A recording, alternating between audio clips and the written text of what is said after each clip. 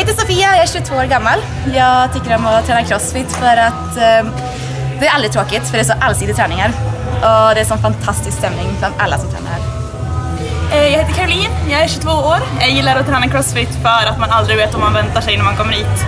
Att det är en ny ord varje dag.